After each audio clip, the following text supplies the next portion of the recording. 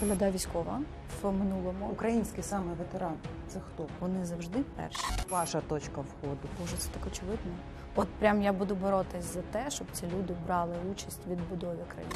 Чого вони бояться? І їх тригерить. Та вони у нас на половині курсу плакали. Був момент відчаю. Судова система не врахувала, що в нього був бойовий досвід. Не втратьте зв'язок і довіру самої родини, бо прийде момент, коли це буде дуже потрібно.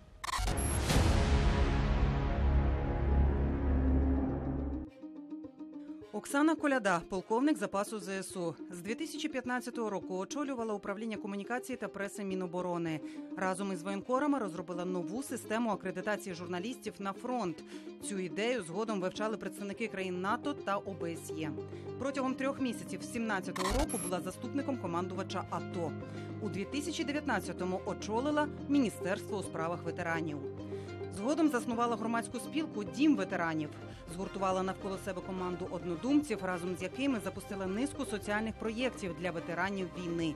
Нині активно займається створенням системи реінтеграції ветеранів у цивільне життя. Очолює громадську організацію Простір можливостей і є автором нової професії.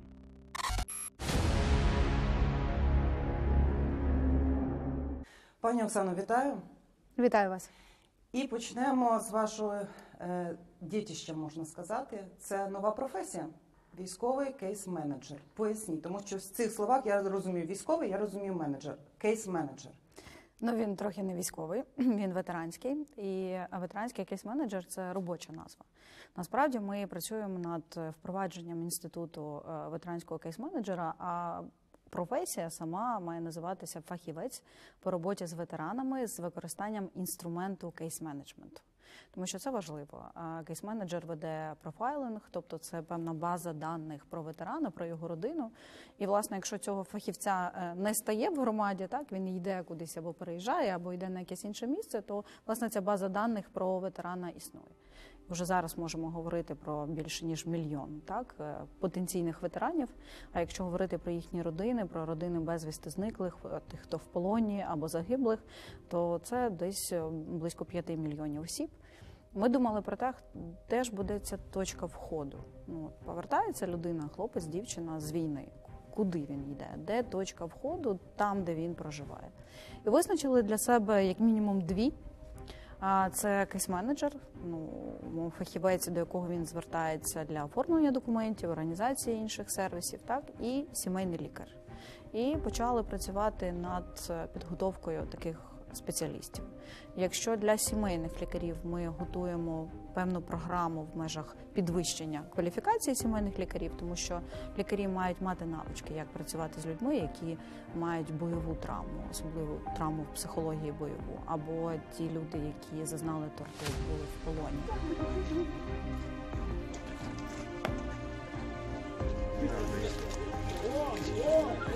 Кейс-менеджер. Ми подивилися, що це можливо соціальний працівник, так але соціальний працівник надає послуги, а не організовує весь спектр послуг. І дійшли до того, що таку професію треба впроваджувати, і таких фахівців потрібно готувати. Треба брати за основу вже працюючих людей і їх, так би мовити, інтенсивно прокачати через ті знання, які має мати ветеранський кейс-менеджер.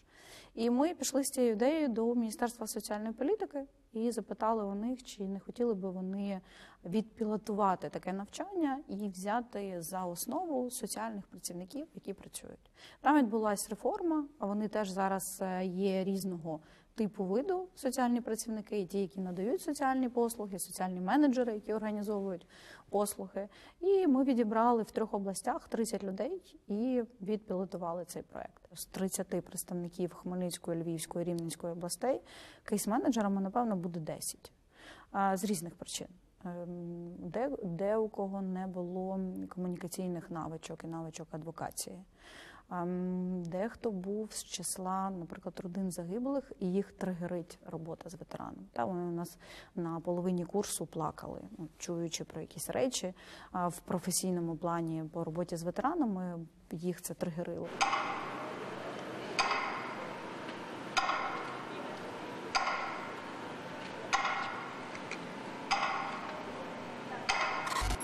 І це теж для нас був дзвіночок, що поки людина сама не реінтегрувалась, не пройшла всі процеси, не можна її залучати до роботи з ветеранами. Це не так просто. От і е, ми апгрейдили програму. Відпрацювали зміни, додали інші предмети, переробили відбір, е, розробили вхідний тест на знання законодавства, також тест на професійну здатність працювати з ветеранами і бути кейс-менеджерами. Це м, ні в якому разі не нянька для ветерана. Він нічого не буде робити. Це довірена особа, це друг, це хто? Е, ну, це людина, яка вміє ефективно організувати надання всіх відповідних сервісів. Це людина, яка має настільки круті комунікаційні здібності, а що вона комунікує з усіма стейкхолдерами в громаді, де вона проживає. Це реабілітаційні центри, це сімейні лікарі, це медичні заклади, це місцева влада, це ветеранський простір, це ем, центри зайнятості, які займаються перекваліфікацією і гарантують, наприклад, ветеранський бізнес. Так, це ветеранська спільнота, в тому числі, це роботодавці, в тому числі. І от, власне, він весь цей спектр надання послуг від всіх цих стейкхолдерів має забезпечити ветерану чи ветеранці. Знову ж таки, треба розуміти, що не всім ці послуги в повному обсязі будуть потрібні. Це суперстійка, е, стресостійка людина має бути, щоб оці всі організації пройти. Ем, я більше б сказала, напевно, е, стійка, звісно, от це така людина, яка вміє класно комунікувати і організовувати, тому що е, не все працює і на рівні громад, і ці зміни потрібно адвокатувати. Та? Всі, хто проходять ці курси, е, формують певну спільноту. Цих людей, які працюють або будуть працювати з ветеранами, я завжди кажу: не втратьте зв'язок і довіру самої родини. Якщо ви втратите, ваш клієнт до вас не прийде. Якщо якісно надасте послугу родині, е, відреагуєте на їхні потреби, вважаєте, що прихід ветерана чи ветеранки до вас гарантований.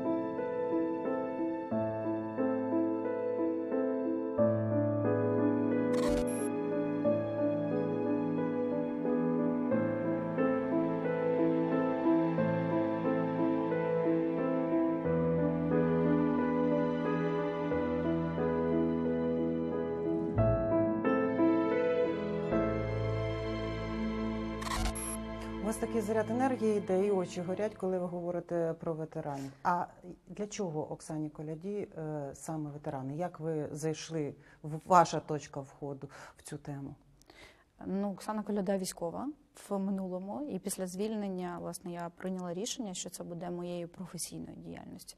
Я саме це так і сприймаю. А мені завжди задають питання: от як тобі не складно, ну ти пропускаєш все через себе, а, тому що мені приходять там десятки сотень повідомлень, комусь протезування, комусь реабілітація, комусь документи. І, це все дуже складно, але Оксана Коляда має вже е, таку стресостійкість і чітко розуміє, що це її професійна діяльність, тому я впевнено крокую саме в цій сфері. А що ви отримуєте від ветеранів? Тому що це завжди обмін йде. Ну, очікувати отримати від них щось не варто. Е, Звісно, приємно, коли дякують, і напевно довіра це найбільше, що я отримую. Ем, Для мене показником було, коли приїхала е, слухачка на навчання кейс-менеджерів е, в Острозькій академії. А її чоловік ветеран, і вона сама ветеранка. А чоловік зараз воює. І вона йому написала е, повідомлення, що я на курсах, організованих колядою. Він їй написав, значить, толк буде. І це для мене от, е, це відчуття, що люди довіряють тобі, і ти можеш далі впроваджувати все, що е, ми як експерти напрацьовуємо. Але це не, не однохвилинне рішення. Я завжди себе питаю: от ти сидиш і думаєш, боже, це так очевидно. Ну от що так треба робити?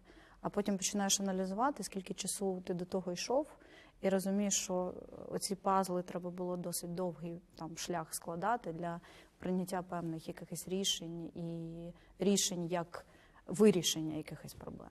Україн... Український саме ветеран це хто? Тобто це люди нині е, військові, е, які користуються найбільшою повагою і довірою суспільства.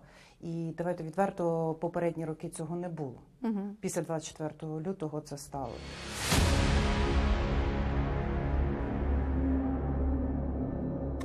І от головні риси. Е, Чому можливо ви в них вчитеся? По-перше, це люди, які прийняли рішення дуже швидко, і я їх страшенно за це поважаю. Е, Залишити вдома е, все, що ти мав або мала.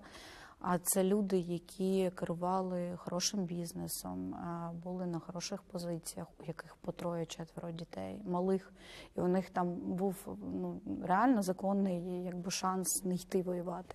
І перше, я відчуваю до них величезну повагу. Друге, я розумію, що вони, вони потужна сила модернізації нашої держави потім. От прям я буду боротись за те, щоб ці люди брали участь в відбудові країни, щоб вони не поїхали звідси після того, як вони повернуться, а активно включились у усі сфери життя. Я читаю постійно дослідження, і я дивуюсь, там 28% людей, які воюють, так чи інше причетні до бізнесу. І від ФОПів до СІО великих компаній, до власників хорошого середнього бізнесу. Ну, уявіть, як держава, як ми маємо їх підтримати потім, тому що вони ж воюючи, втратили швидкість, втратили свою здатність, конкурентність на ринку. Так і які інструменти ми маємо запропонувати їм, аби хоча б якось поновити їхні спроможності після повернення з війни, освітяни, викладачі, вчителі, лікарі, які воюють, молодь. Їм по 18, 19, 20 років. І вони відверто кажуть, що ну, у мене все життя попереду. Мені освіту, будь ласка, я хочу країну розвивати, я нікуди не поїду.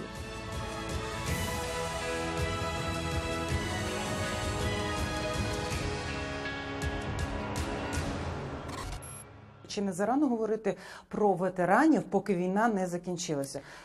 Принаймні так було до 24 лютого. Самі військові в деяких колах казали, ну які ветерани, якщо ми ще воюємо. Ну, по-перше, все, що ми робимо, ми робимо в тому числі для діючих військових. А коли я вам розповідала про ветеранського кейс-менеджера, у нас є певна стратегія розбудови цієї системи. Ветерана чи ветеранку до кейс-менеджера проведе його родина. Це один з важливих стратегічних напрямків роботи нашої команди підтримка родин тих, хто воює. Тому що будь-кому чоловіку чи дружині знати, що підтримують його сім'ю, будь-як, так чи в психологічному плані, чи можливо фінансово в гранті на бізнес, чи в там підтримці дітей. Е, важливо, е, тому що там спокійніше воювати. І родина потім приведе до нас ветерана чи ветеранку, які повернуться з війни. Ну, Я не скажу, що це зарано, тому що ну вони колись будуть всі ветеранами. Там же у нас не класичні військові контрактники, правильно? Це звичайні люди. Станеться перемога, десь Бог швидко. і Буде перший указ про демобілізацію. І от уявіть, що сотні тисяч людей будуть їхати додому в громаду. А громада готова до того, що вони приїдуть. А вона готова? Е, Вони готуються, і це теж частина нашої діяльності. Ми якраз пішли таким шляхом, що ми готуємо громаду до повернення. Який відсоток людей, які повернуться в свою професію, на свою роботу е, з фронту? Багато мобілізованих на підприємстві. Ми аналізували, що десь від 10 до 40% працівників підприємств мобілізовані. А є такі великі ем, заводи чи якісь холдинги, де до 5 тисяч осіб мобілізовано. І бізнес, працедавці почали активно працювати над тим, а, а як е, готуватися до їхнього повернення, як готувати колектив. А чи можливо впроваджувати окремі реабілітаційні якісь програми, навчати психологів, які Чого вони бояться? Е, я не скажу, що вони бояться, я скажу, що вони, напевно, думають про них. Ну і давайте все-таки згадаємо про е, ресурс людський, людський потенціал, якого немає в країні. І працедавці це чітко розуміють. Трудового ресурсу мало. Багато людей виїхало за кордон, і якась частка там залишиться. Е, Два з половиною мільйони українських дітей пішли в школи за кордоном. Дуже маленька вірогідність, що ці сім'ї повернуться, тому що там уже школа, там уже є житло, там якась є певна робота. Ви думаєте, що чоловіки теж виїдуть е, до своїх дружин і дітей? Е, якщо не будемо ефективно всі разом працювати, не пропонувати їм якісь хороші інструменти або е, м'яке повернення на своє робоче місце, так. Це може бути, що це більше ніж мільйон, а то і до двох, якщо буде мобілізація тривати, наших військових, які повернуться з війни, вони просто поїдуть до своїх родин за кордон. Але ж ви пам'ятаєте, от попередні роки знову ж таки згадаю, тому що ну відбувся цей перелам, але попередні роки така пересторога була: повернеться людина з війни з нестійкою психікою. Працедавці, ем, напевно, як і все суспільство, змінили своє ставлення. У бізнесу як сніжний ком такий з'являються програми проактивні. Ми friendly до ветеранів. Ми готові наймати ветеранів. Ми готові Тобто це купувати. їхня ініціатива. Так, це зараз такий певний тренд серед бізнесу, серед працедавців е, в межах їхньої соціально-корпоративної відповідальності. От такі програми. Я все частіше бачу значить, про те, що ми готові працевлаштовувати. Ми готові, наприклад, там кар'єрно просувати тих ветеранів, які повернуться з війни на своє робоче місце. Це дуже круто. Ветерани вони перші, вони завжди перші. Тобто, ви вважаєте, от е, як в тому класичному фільмі про Рембо, такої ситуації в нас вже не буде, і в маршрутках нашим е, ветеранам не будуть казати, я тебе туди не відправляв. Ну, звичайно, це не станеться за один день. Я думаю, що будуть ну, людський фактор завжди десь буде спрацьовувати. Тут, тут у нас складне завдання зробити так, аби ветеран не їхав безкоштовно в маршруті. Ну, тобто, тут же Бо це принижує. Ну так, він має бути фінансово незалежним і їхати в будь-чому, де він хоче. Власному авто, в маршрутці, в автобусі і просто заплатити за це.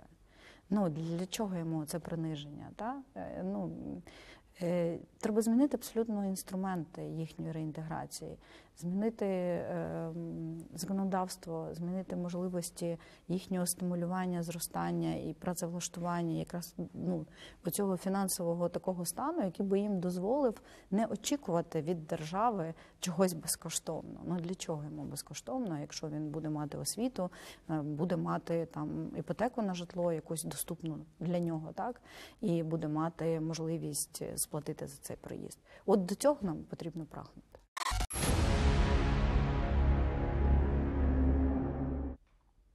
Знову ж таки, у вас така родина, знаєте, маркерна. Ви була військова, а тепер чоловік буде військовим. Е, Сподіваюсь, він повернеться до бізнесу, е, бо він завжди сміється, каже, тобі потрібні дотації для твоєї професійної діяльності, для ветеранів. Каже, хтось в сім'ї має заробляти, а хтось має займатися такою громадською діяльністю. Ні, я думаю, що він повернеться в бізнес. Е, Він дуже чекає, коли буде перемога, він зможе зайнятися своїм улюбленою своєю справою. Він займається будівництвом. От і це теж питання. Знаєте, от я да, маркерна така сім'я.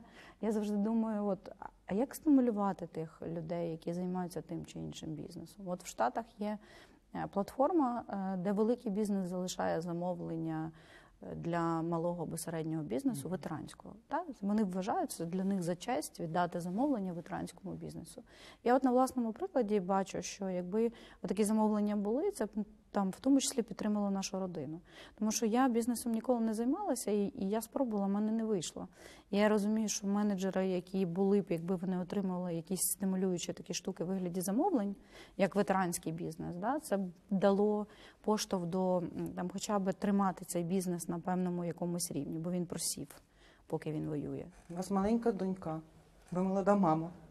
За цей рік е, було відчуття вигорання? Да. А, Є періодично. Е, Мені для цього потрібно два дні ем, такої тиші, можливої, тиші ем, професійної, тиші інформаційної, і я з понеділка вже в строю. Тобто ви вимикаєте ці гаджети? Е, Да. Ну, я гаджети не вимикаю е, на вхідні дзвінки від близьких, бо я переживаю. А на якісь месенджери, телеграм-канали, Фейсбук я намагаюся відміжовуватися, і мені потрібно буквально кілька днів. Звичайно, є, звичайно, складно. Ну, ми нон-стоп працюємо, відпочинку немає. Був момент відчаю. Був. Ми з дітьми виїжджали е, з Ірпеня. е, Чоловік повернувся, він пішов. І в мене якийсь був шалений страх. Меншій доньці було 8 місяців, і я з нею виїхала на півтора місяця за кордон. І там в мене був відчай. І я повернулася. І я повернулася, я там не змогла. Нерозуміння, що відбувається з чоловіком, батьками, старшим сином, який тут залишився. Ем, І, взагалі мене постійно мучила вина, що я не воюю. Ну, тобто я військова, і мені треба ж повертатися на війну. І я писала смс там на своє старе місце служби, питала, чи я можу повернутися, і я розуміла, що я не можу повернутися. Ну навіть якби мені сказали ок, як би це виглядало, чоловік пішов воювати, в мене дитині 9 місяців. Ну як мені її залишити і піти воювати? Я розуміла, що от я маю виконати цю функцію, а далі якось трансформуватися, робити те, що я можу. Да? І от зараз я роблю те, що я можу.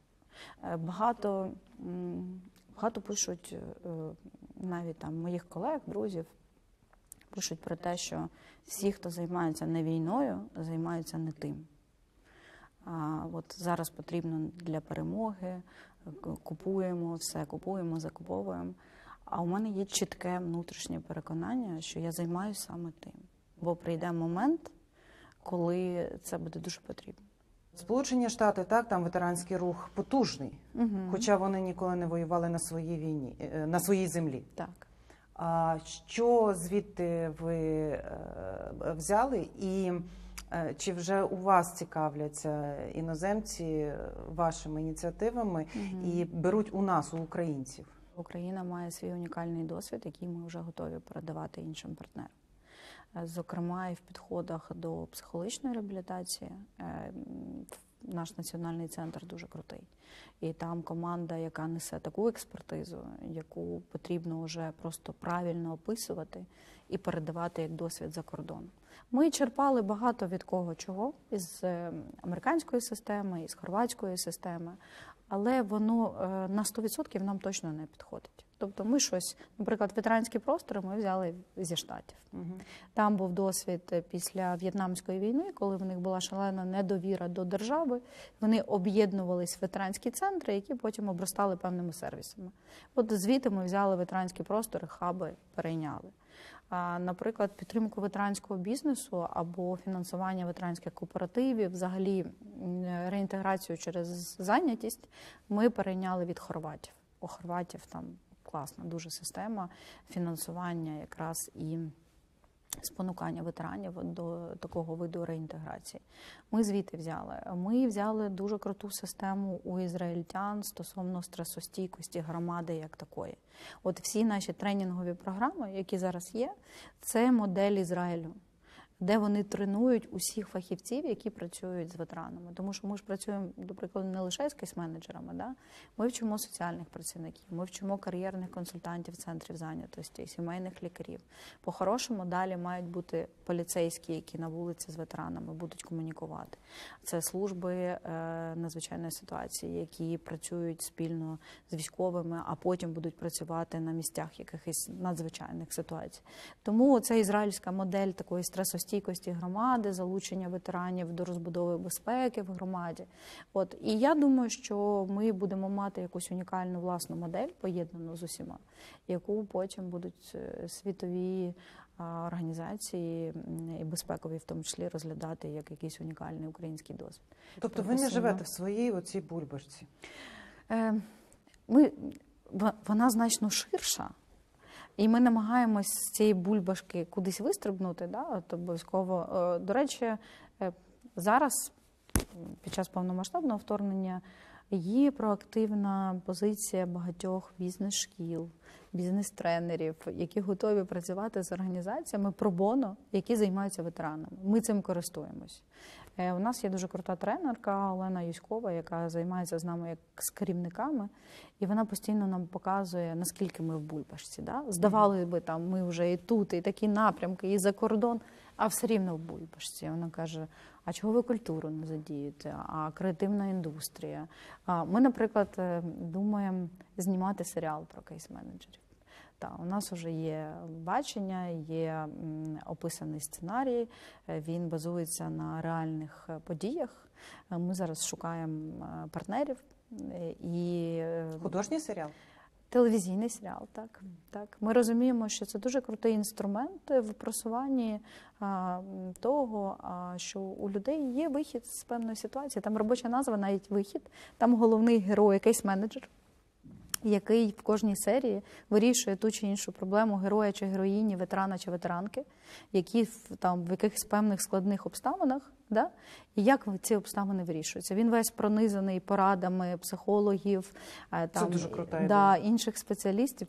Справді Актори крута. професійні будуть, чи це Ем. знову ж таки з своєї бульбашки? Так, ми знайшли багато про- професійних акторів, які воюють. Е, Я думаю, що це буде ідеальне таке поєднання, і актори, і ті, які були на війні.